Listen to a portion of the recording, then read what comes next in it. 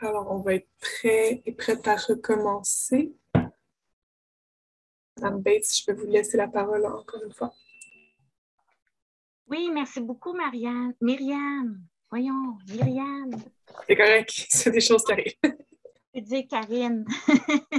Karine, je sais, j'alterne entre Madame Bates et Karine, mais ça va avec mon, mon moment. Alors, euh, rebonjour tout le monde. Euh, c'est la dernière présentation euh, du colloque, du panel. Il y a une partie très importante du colloque cet après-midi à une heure. Je pense que Myriam pourra faire un rappel à la toute fin. Alors, mais il nous reste une présentation. Ensuite, comme je vous, il va y avoir une période de questions, une période de discussion conjointe pour les trois présentations, avec les présentateurs que nous avons eus cet avant-midi. Et puis, je vous rappelle qu'à la fin, euh, il va y avoir le lancement des actes du colloque euh, de la CADA de l'année passée, euh, qui va être présenté par Marie Fally. Alors, la prochaine présentation s'intitule Vers une approche ethno-féministe réflexion, apport et enjeux en contexte. Et ces trois euh, étudiantes candidates au doctorat en ethnologie, je les ai connues au bac.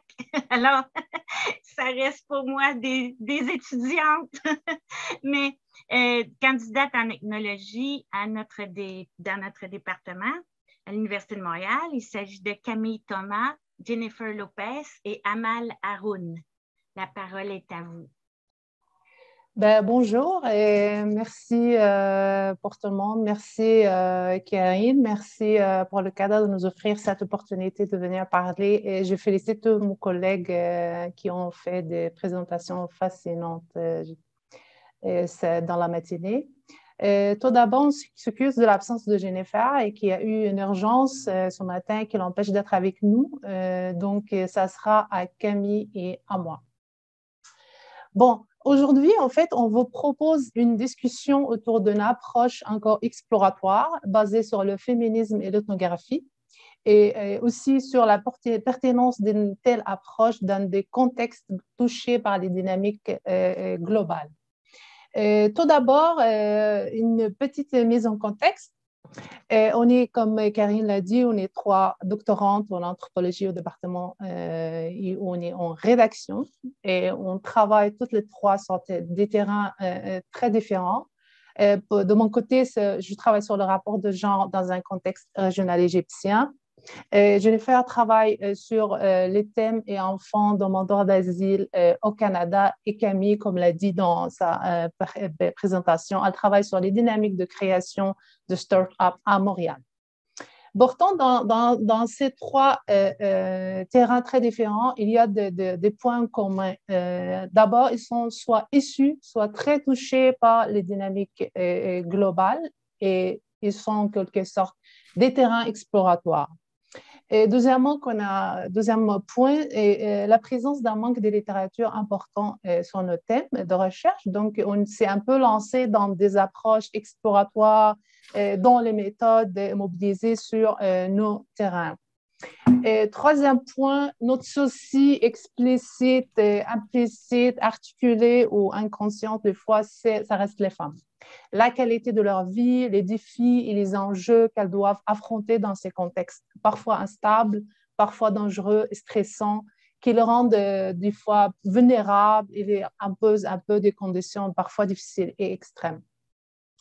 En fait, cette proposition est née en fait d'une mise en commun et d'une réflexion collective euh, euh, avec nos collègues euh, sur nos recherches respectives, une sorte de, parcours intellectuel et une sorte d'ethnographie et auto-ethnographie réflexive. Ce parcours intellectuel, en fait, on, peut le retracer à partir dans, dans, trois moments. Le moment avant terrain, c'est là où on est on prépare nos projets de recherche, on, est un peu dans la littérature, la conceptualisation, etc.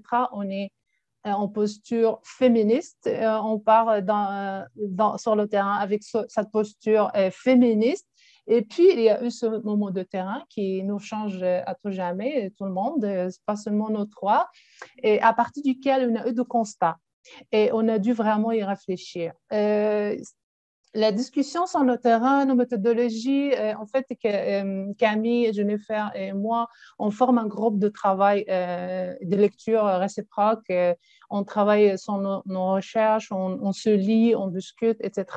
Donc, c'était un peu, ce groupe, c'était un peu le lieu de partage de ces constats qui vont surtout toucher de volets essentiels, le féminisme comme posture et l'ethnographie comme pratique comment la combinaison entre les deux nous a amené à un approfondissement de notre raisonnement et nous a orienté aussi sur des directions pertinentes euh, euh, d'enquête.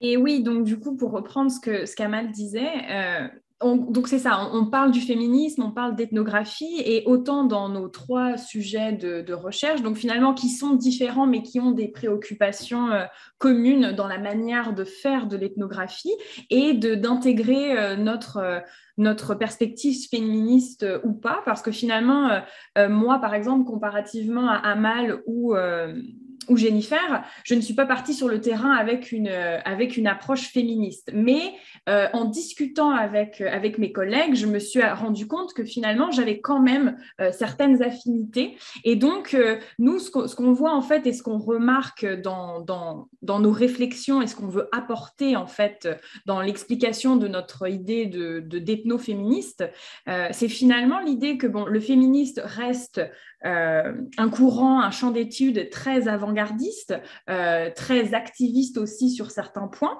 euh, qui est toujours en fait à l'affût d'une certaine manière de nouveaux domaines de recherche. Donc, c'est-à-dire qu'on va autant parler des discriminations, mais aussi finalement de, des rapports de pouvoir, des rapports de genre. et puis, il y a cette idée que dans ces nouveaux sujets, autant ceux d'Amal, euh, les miens ou alors ceux de Jennifer, on va retrouver ces différents points de vue et finalement, on veut incorporer des points de vue qui ne sont pas seulement des points de vue féminins. Euh, on veut vraiment incorporer des points de vue d'hommes et de femmes pour justement s'enligner vers un féminisme assez inclusif dans notre manière de faire le terrain. Euh, et donc, c'est pour ça que notre façon de, voir l'ethnographie et les constats qu'on a fait, autant en les préparant nos terrains que en en faisant nos terrains. Et donc aussi, il y a cette idée de, terrains qui sont euh, avant la pandémie et pendant la pandémie. Ça, c'est aussi des enjeux qui nous ont, euh, qui ont un peu complexifié les phénomènes qu'on allait, euh, allait étudier. Et c'est surtout aussi ben, des données empiriques qui viennent de l'induction, mais qui, qui résonnent vis-à-vis de, ces, de ces questionnements. Donc finalement, on voit que le féminisme a toujours cette idée d'avant-garde sur de nouveaux thèmes. donc autant la masculinité pour, pour Amal, des débats écologiques, de la discrimination pour certains, pour certains euh, personnes ou groupes de gens. Euh, donc finalement, c'est cette idée que, euh, ben, en fait, on veut comprendre plus profondément un phénomène, donc à travers l'ethnographie, en insérant un regard féministe qui aurait cet aspect avant-gardiste sur certains, sur certains enjeux. Attendez, un peu... Et Amal, ton micro, ouais. Excusez. Donc, euh, on est parti à partir de cette mise en commun, ces réflexions. On a eu euh, euh, quelques points relevés ou quelques réflexions à partir de cette mise en commun. D'abord, la pertinence des féminismes pour son aspect révélateur des inégalités, du déséquilibre des rapports de pouvoir et de formes de domination dans un contexte encore un peu peu exploré dont par exemple le concept important d'intersectionnalité qui ne qui, peut pas se limiter seulement au rapport de discrimination, de racisme, qui peut très bien s'appliquer dans des contextes euh, patriarcaux où la femme euh, subit plusieurs couches de domination. Et deuxièmement, la pertinence et même la centralité de l'ethnographie hein, comme méthode d'approfondissement de notre compréhension de phénomènes dans sa globalité. Et l'ethnographie, en fait, actualise notre euh, parcours intellectuel, notre façon de raisonnement et nous oriente, en fait, euh, sur de, bonnes pistes empiriques euh, d'après des dynamiques de terrain qui, des fois, on n'est pas conscient quand on prépare notre démarche ou notre projet. Troisièmement, cette compréhension va permettre de bien articuler le retombé de, de, de, ces, de, de, ces dynamiques sur la, la, vie des femmes, mais aussi sur des catégories plus vulnérables à cause de ces phénomènes. Donc, on ne va pas exclure de, ces catégories, y compris les hommes parfois. Et, quatrième euh, point, euh, l'importance euh, justement de l'inclusion de tous les acteurs, actrices dans, dans, dans nos enquêtes. Le but reste toujours être sensible en tant que féministe, mais notre but reste la compréhension et l'analyse des dynamiques. Oui, et pour ce faire, en fait, on va, on va vous expliquer d'où viennent ces réflexions euh, en vraiment parlant de nos, de nos expériences de terrain. Donc, pour ma part, euh, donc, euh, sur les, les, créateurs de start-up à Montréal, comme je, soulignais tout à l'heure, je ne suis pas partie sur le terrain avec une, perspective féministe par rapport à mes collègues, justement.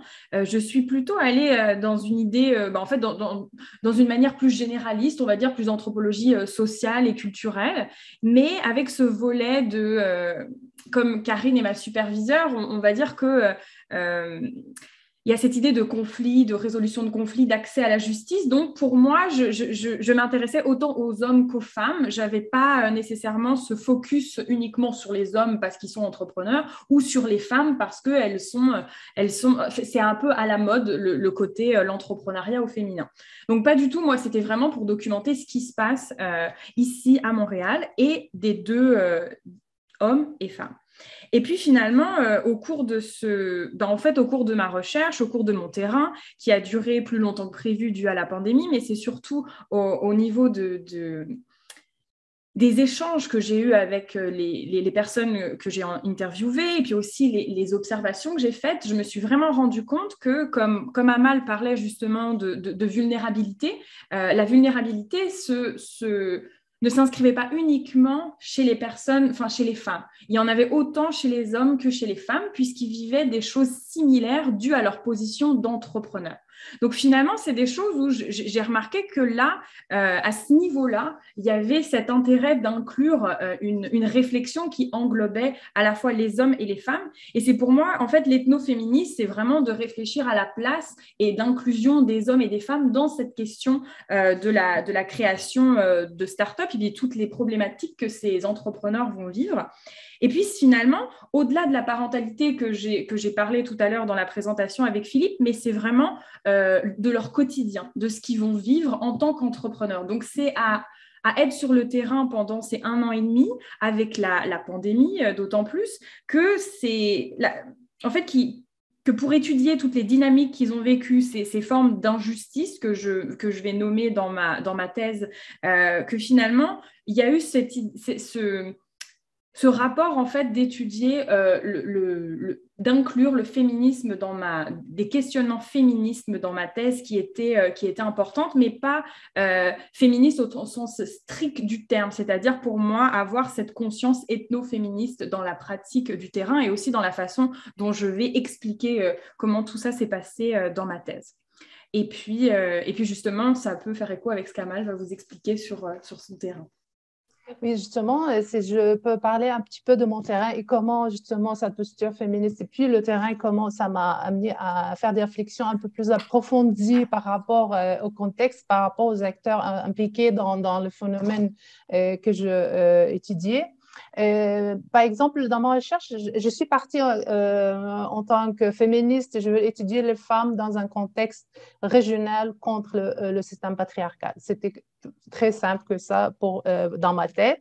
Mais une fois sur, sur le terrain, il était clair pour moi que je ne peux pas étudier ou comprendre un phénomène comme la violence contre les femmes, comme les dynamiques de rapport de genre d'une manière approfondie et, je dirais intelligente sans vraiment parler aux hommes, sans, aller un peu voir et comment ils vont, les choses. Et donc, j'ai dû élargir un petit peu mon, euh, mes enquêtes pour parler, euh, pour, parler euh, avec des, gens hommes, mais sur leur point de vue. Et ça ça m'a amené sur toute la littérature et qu'on appelle actuellement la crise de masculinité, qui se trouve, et qui c'est une condition globale, euh, et, qui a, ces études sur la masculinité ont commencé justement depuis les années 90. Et je fais, j'ai pu faire tous les liens avec le début de l'ère néolibérale, économique, etc. C'est très relié, tout est relié d'une certaine manière dans cette littérature. Et donc, j'ai pu aussi comprendre qu'il n'y a pas juste une masculinité hégémonique, mais il y a des, des, masculinités émergentes, d'après ce que je vu dans la littérature. Il y a même des masculinités fragiles, etc. Donc, il fallait vraiment aller explorer tout ça par rapport dans, et l'inclure dans, dans mes cadres de euh, de recherche et puis euh, me questionner tout simplement sur, euh, sur le fait d'approfondir de, ma compréhension. Et deuxième point, par exemple, bah, bah, qui touche plus les femmes, féministes, beaucoup de femmes, jeunes femmes voulaient être autonomes, aller vivre d'une manière autonome et séparée de la famille toute seule, etc., à la manière occidentale, gagner sa vie, etc. Mais ça, ça j'ai vu aussi les difficultés, les détresses psychologiques dans lesquelles ces jeunes femmes vivent la fragilité et les vulnérabilités de leurs conditions dans un contexte qui n'est pas encore préparé à des, concepts ou des, notions comme l'autonomie des femmes. Et donc, je me suis aussi euh, euh, euh, questionnée sur comment on peut mobiliser des concepts comme ça dans un contexte hostile à des des, des, femmes comme ça qui, qui, qui, qui, affrontent vraiment des difficultés en individu. Donc, c'est un peu ça qui, même si je suis féministe, je suis pour l'empowerment des femmes et, tout ça, mais je, dois me poser des questions euh, en tant que chercheur et, et comment ça peut euh, s'articuler dans un contexte hostile. Ça, c'est un peu euh, ma part très rapide sur mes, mes données ethnographiques sur la question. Et moi, en fait, euh, je vais vous parler de, l'expérience de, notre collègue qui, ne peut malheureusement pas être là aujourd'hui, Jennifer. Donc, euh, je vais vous parler de, ce de son terrain sur les demandeurs d'asile, mais aussi de son expérience personnelle autour du féminisme et notamment autour de son expérience d'enseignement euh, des études féministes à Ottawa. Donc, je vais me permettre de lire ce qu'elle nous a écrit, qu'on lise pour vous aujourd'hui. Euh, donc, le néologisme d'ethnoféminisme a donc pour moi émergé de mon parcours professionnel avant que je ne puisse l'appliquer à mon terrain. Cet ethnoféminisme est conçu comme un outil méthodologique qui nous permet d'observer le terrain sous un angle, sous un autre angle, en l'occurrence celui des dynamiques de pouvoir, formant des phénomènes qui présentent un déséquilibre et engendrent une hiérarchie un filtre qui nous permet d'ajuster notre regard sur les disparités existantes, non seulement entre les genres, mais aussi au sein de mêmes groupes de femmes. C'est donc dans une approche décoloniale que se situe ma réflexion au sein du groupe et dans laquelle il est important d'énoncer que les inégalités, loin d'être circonscrites à la seule catégorie du genre, s'immiscent sournoisement au sein du groupe qu'elle dit défendre et dans lequel les rapports de classe et de race euh, ne, sont souvent, ne sont pas devenus linéaires comme on voudrait bien le croire. Donc finalement, elle se pose la question comment mon expérience professionnelle a suscité des, questionnements sur la position de la femme dans mes recherches? Donc elle dit, je présumais que les rapports de genre pouvaient être en cause sur mon terrain, sans toutefois penser que ça pouvait définir ça pourrait finir par constituer une véritable approche. Je travaille sur l'accès à la justice pour les enfants demandeurs d'asile au Canada il s'agit d'une ethnographie des audiences de demande d'asile à la Commission de l'immigration et du statut de réfugié de Montréal, surtout, donc pour sa thèse de doctorat. Les études féministes ont partiellement permis d'esquisser des réflexions intéressantes sur les femmes demandeuses d'asile, comme pierre angulaire de la famille migrante, la personne sur laquelle repose la survie non seulement des enfants, mais parfois même du reste de la famille. Le mari resté au pays, les frères et les sœurs également toutes les attentes reposent sur ces femmes qui développent des stratagèmes périlleux et une résilience extraordinaire pour offrir la sécurité à leur progéniture. Et là, on peut voir le lien avec la présentation euh, de Marie.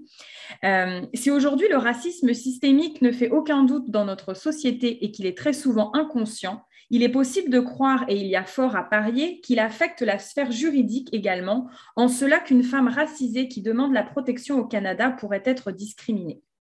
Du coup, c'est ce que j'ai pu constater sur le terrain. Les femmes racisées sont plus à même de subir des discriminations dans leur demande d'asile que que ne le sont les femmes blanches. Il y a cette idée de faux demandeurs d'asile qui persiste autant aux frontières canadiennes, où les agents d'immigration ont un pouvoir discrétionnaire qui leur permettent de renvoyer dans la minute une personne si son discours semble incohérent, ou bien même plus tard dans le processus pendant les audiences, dans lequel les biais et donc la subjectivité du commissionnaire est importante. Et pour finir, la littérature atteste d'ailleurs dans ses préjugés persistants au Canada notamment. Aussi, il est important pour moi non seulement d'utiliser cette approche au moment de mes observations, d'une part, et pendant l'analyse, d'autre part, pour comprendre à quel point le genre peut affecter la décision d'un candidat à l'asile. En outre, il me faudrait également observer, par exemple, si ces dynamiques de genre sont présentes lorsqu'il s'agit d'une femme commissaire, en sachant que le patriarcat, comme le disait Amal, est également véhiculé par des femmes. Bon, pour terminer, on pense qu'une telle approche euh, pourrait favoriser l'inclusion, un regard holistique qui met en perspective la complexité de phénomènes et donc élargit les champs d'enquête. Le féminisme sur lequel nous travaillons euh, toujours est en réalité un outil méthodologique, mais comme un filtre aussi, que l'on applique sur le terrain pour faire état des dynamiques de pouvoir entre genres, mais non pas unilatéralement, c'est-à-dire que l'approche se situe non pas dans l'activisme, mais plutôt dans la compréhension et l'analyse des phénomènes issus de ces, des, contextes globaux. Avec ça, on vous remercie beaucoup. On vous remercie. Merci beaucoup. Très intéressant. Euh, est-ce qu'il y aurait déjà une ou deux questions pour Camille et Amal? Oui, Myriam? Oui, ben merci beaucoup pour votre présentation. Ça résonne avec beaucoup de, choses dont on a discuté ce matin, puis d'autres choses également auxquelles euh, je voudrais réfléchir. Je me demandais justement sur cette notion-là d'activisme. Il y a comme, j'ai l'impression, je vais parler pour moi, il y a comme toujours cet aspect-là vraiment personnel de me dire, j'ai de la difficulté à ne pas me sentir engagée euh, au niveau justement euh, militant ou avec une intention, je ne sais pas comment l'exprimer en fait, mais est-ce que vous pensez que ça peut vraiment se détacher d'une démarche activiste, si vous vous positionnez. Euh, en fait, comment, clairement pas, mais comment vous composez avec cet aspect-là pour pas nécessairement que l'activisme puisse trop transparaître dans des intentions de recherche ou je sais pas, comme si vous comprenez ce que je veux dire. Oui, je comprends, mais est-ce que tu veux commencer à mal ou est-ce que je peux dire un truc? Euh, oui, moi, je, je, euh, oui, je comprends. Des fois, c'est difficile de ce, sentiment d'injustice sociale. Des fois, nous pousse vraiment à, des conditions extrêmes d'activisme. Moi, je dis que ce qui se passe maintenant, par exemple, pour le féminisme égyptien, c'est très radical, c'est très activiste. Je comprends euh, l'utilité dans un contexte patriarcal qui a besoin d'être secoué d'une manière violente. Donc, je, dis que ça doit exister d'une certaine manière, même si je, suis consciente de, euh, de, conflits euh, qui peut, euh, qui peut euh, causer, mais comme il n'y a pas d'autre moyen de vraiment changer un petit peu les choses. Mais moi, ma posture comme chercheur, j'ai toujours le besoin de comprendre avant d'être activiste. Je suis consciente des biais d'être des fois, des fois une position activiste je ne le dis pas pour tout le monde, mais des fois, c'est vraiment biaisé. Des fois, des, comme je le vois toujours dans le contexte égyptien, a quelques contextes euh, dans lesquels je suis, dans, dans, que je suis, en fait. Je ne suis pas dans l'activisme du tout. Des fois, on, forme des cycles, euh, fermés où il y a l'exclusion, où il y a vraiment euh, une sorte d'idéologie ou de dogme difficile à, faire, à discuter. C'est difficile, même c'est de faire une conversation intelligente avec certains, euh, certains activistes euh, là-dessus, euh, c'est ma condition en Égypte. Si je parle de la masculinité, qu'il faut voir un peu les hommes, etc., parce que c'est important. je vais être comme peut-être. Je ne sais pas, mais c'est ça ma situation. En fait, je suis chercheur. Est-ce que ça m'intéresse en premier lieu, c'est la compréhension et l'analyse. Euh, évidemment, euh, j'ai des positions pour euh, les droits et les, égalités, mais, je, reste consciente des biais de, l'activisme. Mon point de vue. Camille veut ajouter quelque chose bah, En fait, ouais, je, je, je rebondirais sur ce que tu dis dans le sens où finalement, ça dépend du cadre dans lequel euh, on va s'exprimer. C'est-à-dire que euh, je pense qu'on a tous des opinions et on, après, on va tous aussi faire telle ou telle recherche en fonction de, nos intérêts pour la recherche et de nos intérêts personnels. Mais après, je dirais qu'en fonction du cadre dans lequel on va s'exprimer, on va pouvoir laisser ou pas euh, libre à cet activisme latent qu'on a en nous ou pas. donc, je dirais que ça va vraiment mais par contre, je dirais que ça va vraiment dépendre du cadre. Comme Amal, je dirais que moi aussi, il y a cette idée de compréhension avant d'agir. Mais ensuite, s'il doit y avoir action, il faut aussi le mettre en contexte et puis expliquer cette position de chercheur qu'on a et cette position ou pas euh, d'activiste ou pas. Euh, moi, je sais que je ne me, je me définis pas comme étant activiste, euh, je me définis vraiment comme étant chercheur, mais si j'ai des positions plus fermes à aller défendre ou à me positionner, je vais l'expliquer en fait. Euh, mais sinon, non, j'ai l'impression, pour moi personnellement, que activistes et chercheurs, pour moi, ça peut être, euh, ça peut faire des frictions qui peuvent, euh, qui peuvent justement porter à confusion. Donc, si ça doit être, si je dois prendre acte d'un truc activiste, je préfère le mettre dans une situation et un cadre qui est proprement parlé, mais moins nécessairement pour le domaine académique. Donc, ça, ce serait mon point de vue en fait. J'ajouterais juste un dernier point, l'importance de la autocritique et la réflexivité. Même si une activiste extrême, il faut toujours euh, la mise en, cause de nos positions. C'est ça la seule chose, mais euh, on peut très bien être activiste et chercheur. C'est juste ça, il faut être critique. Bon, merci pour vos, euh, vos développements là-dessus. Est-ce qu'il y a des questions dans le chat, Myriam ou Annick? À date, j'en vois pas? Non, malheureusement. Mais si je peux euh, me permettre, euh, moi, il y a quelque chose que, euh, que, je, voulais, que je voulais essayer de clarifier. quand vous dites que vous êtes parti sur le terrain, pas nécessairement avec une approche, une perspective féministe, par exemple. À Mal, c'était plus c'était plus clair pour toi. Mais c'est que être une femme féministe,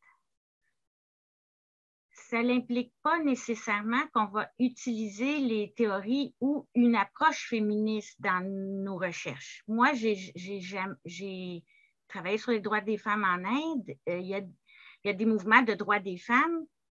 Il y a des mouvements féministes en Inde mais les, y a des mouvements, les mouvements des droits des femmes ne sont pas toujours et ne se définissent pas, ne n'identifient pas toujours comme étant féministes. Euh, bon. Donc, moi, le fait que j'étais féministe comme citoyenne, euh, c'est sûr que ça m'a amené des biais de recherche. J'ai travaillé sur les droits des femmes, entre autres. Bon, c'est pas juste parce que j'étais féministe, là, il y a d'autres raisons, mais c'est sûr que c'est ça, fait un biais euh, sur les sujets choisis. pas tout le temps, mais en fait, dans mon cas, oui. Par contre, j'ai été, je n'avais pas, je n'utilise pas directement dans mes travaux une, approche féministe. Euh, j'ai absolument rien contre. C'est euh, bon. C'est vrai là, 25 ans, quand j'ai 20 ans, quand j'ai écrit mon doctorat, euh, c'était un autre contexte. Euh, mais donc, est-ce que vous vous dites féministe comme chercheur ou féministe comme citoyenne? Et quand tu parlais de l'autoréflexivité, Amal, c'est quoi la dynamique pour vous entre les deux? Un peu comme Myriam qui dit qu'est-ce que c'est la dynamique entre l'activiste et le chercheur? Ben, disons que dans la conceptualisation de, de, mon projet, euh, j'ai adopté une, une, une, approche féministe. C'est que je connais le contexte, je connais le milieu, je connais ce que les femmes ont affronté parce que je viens, en fait, je suis issue de ce contexte. Donc, j'avais plus ou moins vraiment une approche euh, féministe. Hein, et, je venais discuter d'ailleurs avec toi sur le, le, féminisme en Égypte et tout dans, dans une de nos rencontres. Euh, mais en fait, euh, rendu sur le terrain et puis avec cette curiosité d'anthropologue et aussi euh, sur le, le, charme de faire un terrain en, en, anthropologue en prenant recul dans, ma, dans, ma, dans, mon, état de justement mon statut de citoyenne égyptienne avant d'être citoyenne canadienne et puis comme comme une personne qui est née, qui a grandi, qui a subi aussi toutes, toutes ces, qui a fait avec ces structures euh, patriarcales, ce détachement, ce recul, je peux vraiment le faire avec la formation anthropologique. Donc, c'était un peu comme euh, une découverte, une, prise de conscience. Et puis, euh, je me suis dit, pour être honnête, il faut vraiment suivre le terrain, me dire, voir ce qu'elle va m'apporter, même si je ne vais pas trop aimer ça. et donc, L'autoréflexivité, c'était en permanence euh, un état d'esprit tout le temps, euh, même euh, dès le, premier jour. Et, c'était accentué, accentué, surtout par ma curiosité de, compréhension de choses comme ex, comme, comme égyptienne autant qu'anthropologue. Donc, ma curiosité était vraiment aiguisée à ce point et je, suis, je me suis lancée dans une direction très diversifiée sur le temps, pas seulement les femmes. Et puis après, j'ai compris qu'il faut inclure les hommes, mais tout, tout, le, tout ce qui euh, le terrain présente, le visuel, le, les conversations naturelles là, dans, dans les moyens de transport, l'organisation des, espaces, euh, même l'architecture, tout, tout, tout, en fait. Et, à partir de ça, je euh, j'étais toujours dans cette curiosité, autoréflexion, et euh, à partir de ce, de, euh, ce état dans lequel je vivais tout le temps sur le terrain, je, me suis, je suis arrivée à là que il faut vraiment il faut surpasser cette posture de juste féministe parce que ça, c'était pour moi comme une fermeture sur juste une, coupure de, tout un terrain très riche et dynamique. Et c'était aussi une question de, je dois rester honnête parce que le terrain est beaucoup plus que ce que je prétendais euh, euh, euh, faire dans, mon projet de recherche de départ. Je ne sais pas si ça, ça, répond à ta question, Karine. C'est un, peu, c'est un peu ça. Oui, merci. Merci, Amal. Et est-ce que je pouvais ajouter deux petits trucs? Parce que je vois qu'on n'a plus beaucoup de temps. Oui, en fait, euh, bah, justement, moi, euh, bah, comme tu le sais, en fait, j'ai pas de, posture féministe dans, féministe dans ma recherche, mais je dirais que les discussions qu'on a eues avec Amal et Jennifer et les constats que j'ai faits dans, la manière de procéder à l'ethnographie et quand, et quand on parle vraiment d'un point de vue méthodologique, euh, je dirais que moi, mon côté féministe viendrait de ma personne en tant que voilà personne. Et donc du coup pas à intégrer des postures et des théories féministes dans ma thèse mais simplement moi en tant que femme euh, auprès des entrepreneurs comment ça s'est passé même méthodologiquement euh, pour pourquoi en fait euh, j'aurais pu avoir un accès plus facile ou moins facile autant à des hommes qu'à des femmes, dans quel contexte, dans quel euh, contexte d'observation, euh, même au niveau des, entrevues, parce qu'il y a, des entrevues qui sont, qui sont très fortes, euh, très émotionnelles. Donc finalement aussi, qu'est-ce qui va,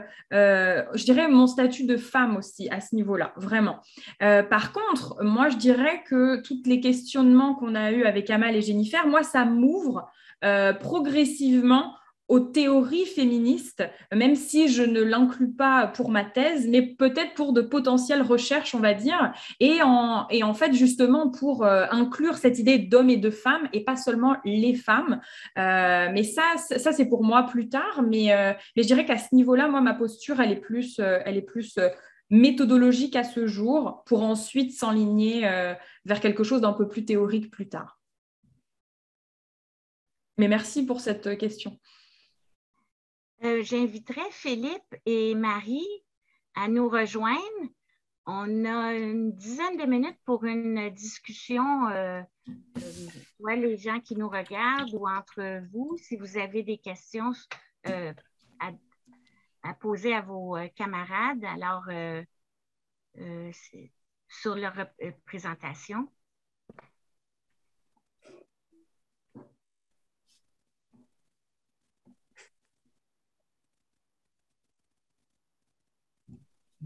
Ben, moi, pour faire un peu l'inverse, j'aimerais demander à Philippe ses réflexions un peu sur, euh, comme, euh, comme homme, euh, comment tu sens ou est-ce que même tu as eu des, des remarques, des commentaires? est-ce que tu sens que c'est plus facile pour toi d'aborder les hommes ou les femmes? Comment tu intègres ça dans ton terrain à toi? Euh, c'est une drôle, c'est, euh, j'y avais pas pensé, pour être honnête, comment ça euh, m'aidait ou pas. je dois avouer que ça a été beaucoup plus facile pour moi, bizarrement, de trouver des participants féminins que masculins. Et en fait, la raison, c'est que souvent, avec les participants masculins, l'excuse que j'avais, c'était que ah, je suis trop occupé, ah, j'ai pas le temps, j'avais souvent, j'étais souvent comme confronté un petit peu à, aux stéréotypes. Euh, dans l'univers du nomadisme numérique, on appelle ça le bromad, c'est-à-dire un homme un peu, euh, voilà, un peu macho, qui, qui, a comme un assez gros ego, etc. Donc, j'ai, j'ai souvent été confronté à ça et c'était pas toujours le genre de personne qui était comme disposée à, à m'aider, mais qui était par contre très disposé à, parler de son expérience, oui, mais pas forcément à m'accorder vraiment comme une heure pour faire une entrevue, etc. Mais si ça m'a aidé ou pas, je ne crois pas. Je pense que le fait d'être simplement comme un étudiant assez jeune, etc., m'ouvrait plus de portes que le fait d'être euh, d'être un homme. Tout au moins, c'est l'impression que j'ai eue. Est-ce que je peux juste répondre sur euh, ce que Philippe vient de dire? Souvent, dans les, toutes les enquêtes, euh, les femmes sont plus collaboratives que les hommes. Souvent, euh, je l'ai entendu dans plusieurs présentations que les femmes étaient plus aptes à accepter, à collaborer, à parler de la, de, sur le sujet d'enquête que les hommes, beaucoup plus. Ok, ouais, juste de façon générale. mais, tu vois ce que, ce que tu dis sur le statut d'étudiant, je suis d'accord que ça peut être bien vu comme mal vu. Pour ma maîtrise, ça a été mal vu.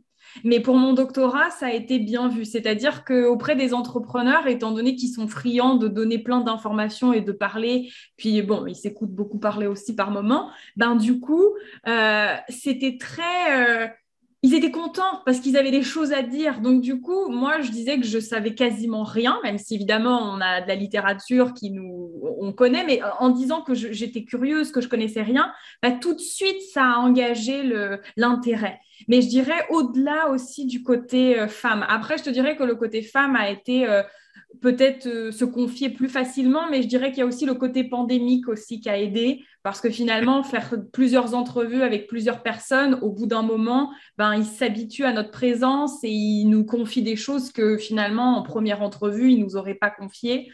Euh, donc voilà, mais, ce statut d'étudiant peut être... Euh, bien et moins bien selon les contextes et je, je suis d'accord. Et au final, moi, tu vois, par rapport à ce que disait Amal, euh, pareil, j'ai eu plus facilement accès à des hommes ou alors à des femmes, mais ça, dépendait du contexte aussi encore et de, du milieu d'observation.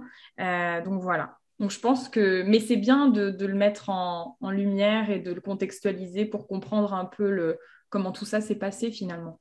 Ouais. Par contre, petit obstacle aussi avec le statut d'étudiant, moi, par exemple, en anglais, je disais un master's student et les gens ne savaient pas toujours ce que, ce que c'était un master's. Genre, tu dis PhD, ils vont savoir ce que c'est, ils vont faire oh, PhD, mais master's, donc tu sors d'où, tu fais quoi?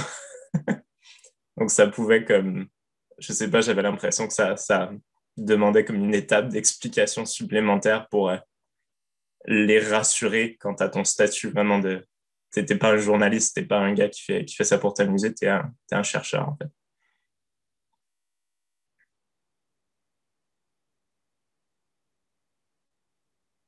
Euh, Marie, oui. et après mais je, pense que Myriam avait levé sa main avant moi, mais euh, c'est comme tu veux, Myriam. En fait, c'était un peu pour faire du, faire du pouce à, la discussion de maintenant. Euh, en fait, j'allais poser la question à Amal parce que tu as parlé euh, des masculinités toxiques, puis c'est des choses dont nous deux, on a discuté aussi dans le cadre d'autres discussions.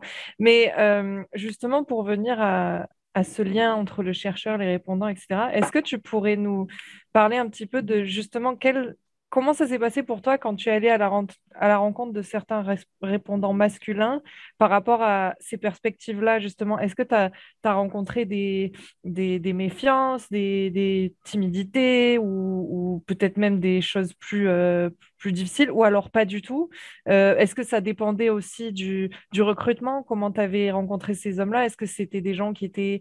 Euh, de base ouverts d'esprit ou est -ce que tu pourrais juste, ça m'intéresserait de savoir, euh, même si c'est un tout petit peu, parce que tu m'en as déjà parlé, mais j'aimerais bien euh, développer sur ça. En fait, euh, comme j'ai fait une méthodologie un peu plus complexe avant d'aller sur le terrain, j'étais consciente de, la complexité de, rencontre. Je voulais vraiment avoir une, un volet de toutes les tendances dans la société, dans le contexte. Donc, j'ai fait avant un, une questionnaire en ligne et d'après les réponses et les, gens qui voulaient venir me voir, je n'ai pas le choix. Toutes les personnes qui étaient d'accord, je suis allée les voir.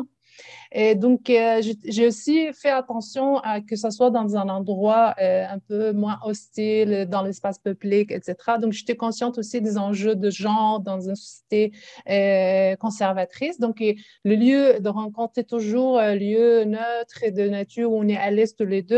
je suis une femme et souvent c'est un jeune homme, donc ça pose aussi un petit gêne, malaise.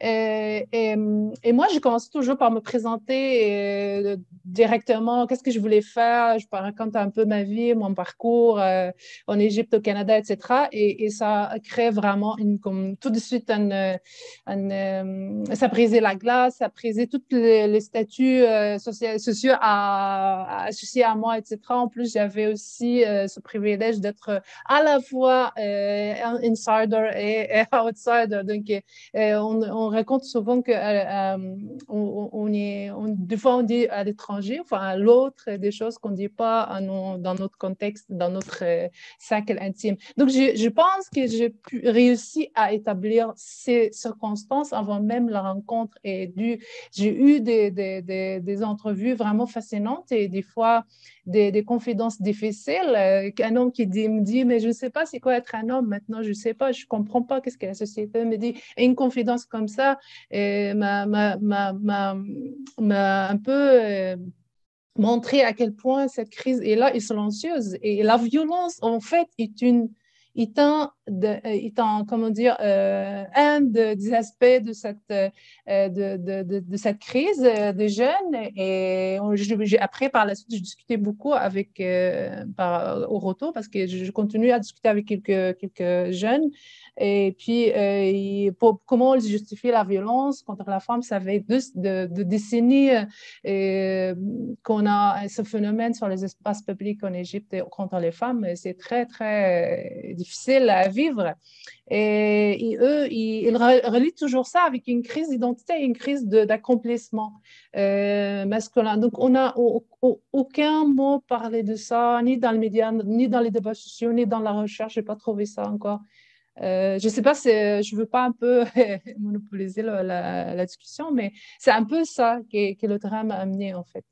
Je ne sais pas si ça répond à tes questions pour toujours euh, continuer ailleurs pour en parler plus. Merci. Et Myriam? Oui, euh, ben, c'était une question qui remonte un peu à la présentation de Marie. Je me demandais, tu avais mentionné brièvement une collaboration avec Roxane Caron plus du côté euh, du travail social. Puis j'ai eu la chance justement de l'avoir euh, en conférence dans mon cours d'intervention féministe. Euh, puis je me demandais dans le fond quel lien tu pouvais faire ou comment une approche en travail social, si tu allais tirer certains éléments dont l'amour maternel, comment tu penses que le travail social peut peut-être nourrir une réflexion d'anthropologie? C'est vraiment large comme question. Mais dans un aspect terrain, où on va toucher plus, où tu vas aller toucher des questions, oui, sur le terrain, mais après ça, dans l'application, peut-être dans l'élaboration de, de, solutions, d'intervention, euh, comment tu penses que les deux peuvent se lier? Ben, c'est ça justement, c'est vraiment sur l'aspect intervention que ça va se, que ça va se jouer. En fait, euh, au début de mon terrain, j'avais j'avais pas prévu de, de, faire des entrevues, par exemple, avec des travailleurs, euh, travailleurs sociaux et des intervenants communautaires, etc. Et, euh, et c'est un peu le. Ben, en fait, c'est la, pandémie qui m'a fait euh, ajouter ça comme outil méthodologique pour ma recherche. En fait, quand j'ai commencé mon terrain en février 2020, donc euh, j'ai arrêté mon terrain en mars 2020 euh, parce que ben, avec les mamans en monoparentalité qui avaient deux, trois, quatre enfants de moins de 10 ans à la maison, je ne pouvais pas leur dire on fait un Zoom pendant une heure et demie. mais par contre, les intervenants, ils étaient, ben, comme quand Camille a dit, les gens des fois sont friands de, de, te raconter des choses et tout. Ce n'est pas toujours le cas parce que parfois la recherche a un certain surtout auprès des intervenants, des fois, les organismes vont peut-être être, un petit peu plus pas méfiant, mais euh, il y, a une relation euh, euh, love-hate, je crois, entre la recherche et, l'intervention parfois. Et, mais en fait, ça m'a, je me suis rendu compte que les intervenants étaient, étaient plus disponibles pour moi, donc j'ai fait des, des entrevues avec eux, et c'est là que, bah, d'une part, mon expérience, parce que moi, ma maîtrise, j'ai fait une maîtrise en action humanitaire, puis j'ai travaillé dans le milieu de l'humanitaire et du communautaire, et c'est là que je me suis rapprochée aussi de Roxane parce que bah, elle, elle est vraiment en intervention, puis c'est euh, sa spécialité, c'est l'intervention. Et ça, ça a ajouté un petit peu, parce que c'était des choses qui venaient de toute façon quand je parlais avec les femmes, c'était les liens avec les organismes communautaires, les liens avec euh, euh, tout le travail qui se fait, le travail d'intervention, les liens avec les travailleurs sociaux. Alors ça, on a autant dans un côté que de l'autre des très bons contacts avec les travailleurs sociaux, d'autres qui vont me dire, ah, le CLSC, ils m'ont dit ça, ça, ça, c'était horrible, etc. Et en fait, ça m'a fait me questionner comment Comment on fait pour approcher ça? Comment on fait pour comprendre ça? Quel impact ça a sur euh, le processus qu'elles vivent ici euh, euh, quand elles sont là. Donc c'est vraiment dans cet aspect-là, dans cet aspect euh, d'intervention que ça va venir jouer dans, les, dans les résultats et dans l'analyse de ma thèse. Pour mon travail avec Roxane Caron, je te dirais que ça m'a beaucoup, et c'est pour ça aussi que ça ça m'a pas mal interpellée quand j'ai écouté la présentation d'Amal et Camille, parce que elle m'a beaucoup ouvert à tout ce qui est le féminisme transnational, le féminisme décolonial, parce que c'est vraiment dans ses champs de recherche, euh, euh, elle est assez euh, spécialiste sur ça. Et puis, j'ai bien aimé quand Camille a dit, c'est comme un filtre. Et en fait, c'est vrai que je le prends vraiment comme ça aussi. C'est que tout ça, ça me donne des clés pour relire mes données, etc. Avec ce filtre-là. et comme l'aspect sur l'intervention, etc., ça, ça, m'ajoute comme un filtre aussi sur euh, comment je vais approcher les expériences des femmes. Euh, et pour moi, la littérature euh, en travail social, elle est... Je, je sais pas si c'est un biais personnel, mais c'est je peux pas faire sans en fait. Et, et puis comme c'est aussi des travaux que j'ai fait aussi, j'ai pas mal travaillé avec Roxane Caron, Marie-Jeanne Blin, etc. sur des, des projets aussi en intervention. Donc pour moi, c'est sûr que ça va, ça, va être, euh, ça, va, ça va faire vraiment partie de mon analyse. Et comme je disais par rapport à l'amour maternel, comme il y a encore peu de travail en ethnologie, euh, ça va m'aider à plus creuser ça euh, de ce point de vue-là. Merci. Merci beaucoup. Alors, je pense que c'est le moment de clore la discussion, je voudrais remercier toutes euh, les présentatrices et notre présentateur euh, de ce matin. C'était vraiment passionnant. Et maintenant, avant de nous quitter, je vais passer la parole à Marie euh, pour nous présenter les actes du colloque de l'année dernière. Merci, Karine. Merci, Karine. Euh, donc c'est encore moi qui vais parler, euh, la dernière fois, promis. Euh, donc je, je, vous parle à titre de coordonnatrice des actes de colloque du CADA de l'année dernière, qui s'était fait autour du thème de l'esprit. Et j'ai co-dirigé avec ma collègue Sarahi, qui est au département ici en archéologie et qui est cachée parmi les membres des participants participants de, ce Zoom. Euh, et donc, on a pris en charge de euh, publier, de faire la publication de ces actes de colloque. Euh, et on a eu la chance euh, d'avoir cinq des présentateurs, six en fait des présentateurs de euh, l'année dernière pour publier cinq articles. donc je tiens d'abord à, les remercier Pierre Bocage, Deirdre Maintel, Guillaume Boucher, Émilie Lessard, Mélissa Bernard et Thomas Wynne qui ont participé à la publication de ces actes de colloque. je voudrais remercier aussi le FAV, le Fonds d'amélioration de la vie étudiante et la Fondation de la SEC euh, qui nous ont euh, qui nous ont financé euh, pour ce projet. Je vais en petite avant-première vous partager le, visuel de, nos, actes de colloque dont nous sommes assez fiers. Ça a été un, long travail parce que même si c'est au final que cinq articles, parce que ben, l'année a fait que entre tous les zooms qui se multiplient, puis tous les impacts, la reprise de la recherche en présentiel, etc., on a plusieurs euh, auteurs qui n'ont pas pu euh, malheureusement euh, arriver jusqu'à la fin du projet, mais c'est quand même un, projet dont on est très très fier. et puis je vais vous mettre aussi dans le chat. Je vais vous mettre donc on a un lien donc nos actes de colloque sont officiellement en ligne depuis hier. Euh, merci Amal pour aussi ton aide, puisque c'est Amal qui nous a invités euh, déjà à la base à euh, prendre en charge ce projet. Puis on est vraiment très contente d'avoir pu, d'avoir pu le faire. on voulait aussi remercier le département pour son soutien, les professeurs et les étudiants qui ont fait partie du comité de lecture. on espère que cette édition va vous plaire. Et puis, on, espère aussi que cette, cette tradition d'actes de colloque va continuer. C'est une belle opportunité. Ça a été de nombreux beaux échanges, euh, même si c'est sûr que c'est du travail, mais ça a été vraiment des échanges très fructueux avec euh, les auteurs, avec le comité de lecture. Puis c'est euh, aussi un, accomplissement d'avoir ça au département, publié par les éditions Anthropo. Donc, euh, donc voilà. Donc, euh, je vous invite à, regarder euh, ces actes de colloque. On va les publier. Ils ont été mis sur les pages Facebook, puis ils seront mis aussi sur le site du département. Ils sont disponibles. Donc voilà. Merci beaucoup à tous et à toutes.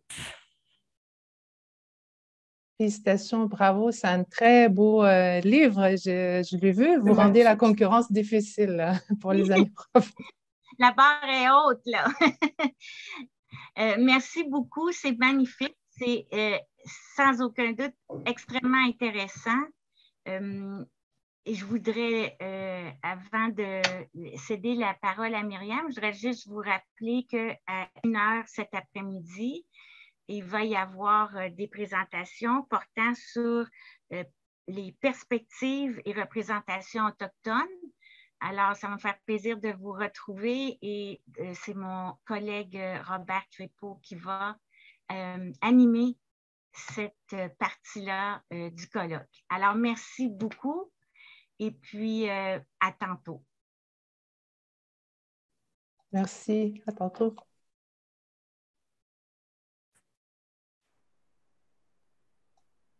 En fait, ça, je peux conclure, mais euh, bon, Karine a pas mal euh, résumé ce que je voulais dire, mais on se retrouve à 13h pour le bloc euh, sur les perspectives autochtones. OK. À tantôt. À tout à l'heure, merci. À tantôt.